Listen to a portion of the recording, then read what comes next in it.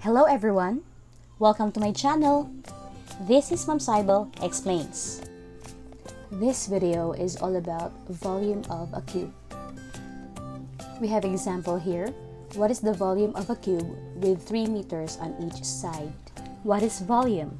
Volume can be defined as the three-dimensional space enclosed by the boundary or occupied by an object. What about cube?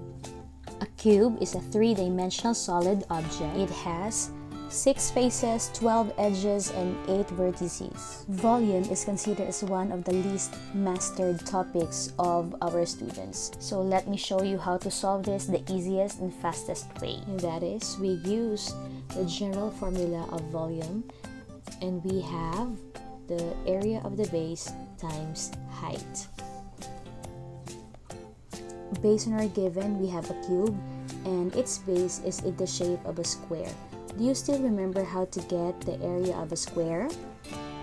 Yes, it is side times side. To get the volume, just multiply to its height.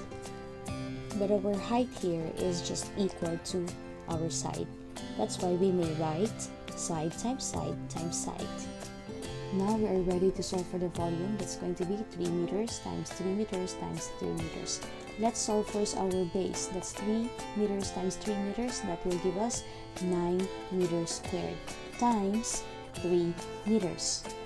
To solve for the volume, just multiply the area of the base and the height. That is 9 meters squared times 3. That will give us 27 cubic meters. And that's it. Don't forget to hit the like button if you think this is helpful. Till next time!